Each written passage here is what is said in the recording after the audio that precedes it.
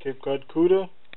Um, I gotta try to figure out why this battery charger isn't charging right. You see it has a green light on saying it's go. It's supposed to be red.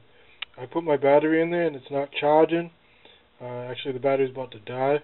So I gotta fix this charger so I can make more videos. Um, so I'm gonna take this thing apart and try to figure out why it's not working. I flipped it over. There was a couple of these little rubber skid pads on the back of this. I used a tool to uh, pop them out.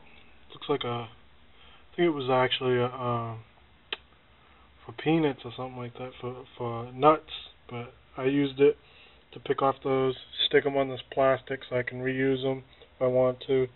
Uh, a couple of Phillips screws in here. I took those out. Um, I'm gonna say, I'm gonna tell people, um, use the proper tools when doing things. Um, those Phillips screws were small. Use the right Phillips screws so you don't strip them. I hate strip nuts and screws and stuff like that. Uh, I took the back off. It looks like I might have got some condensation inside here. This um, motherboard, chipboard is has some corrosion on it. Some looks like mildew.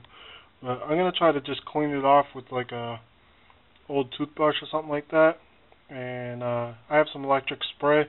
I'll spray it in there, uh, electric cleaner and hopefully that will make some connections so I can charge my battery because this is about to die.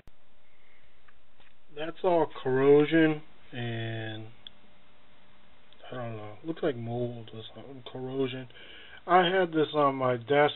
My desk is right by the window, um, beside my computer, and uh, upstairs. And I have the window slides open to the side, and when it rains, sometimes some rain gets in there and stuff like that.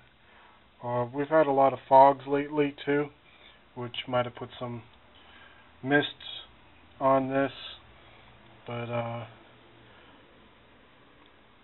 I don't know. The board the board has a lot of corrosion on it. I uh, sprayed some electric cleaner on it. Uh, gave it a couple of swipes with this I know it's br it's a brass brush, but I don't know if that was good or not. But it's got some corrosion. I did put the battery in there, and it I think it did start to charge, but the light didn't come on now at all. Um, I'm just going to clean it up some more. These connections right here. Hopefully this battery will charge because it's about to die. Um, I'm going to have to get another camera.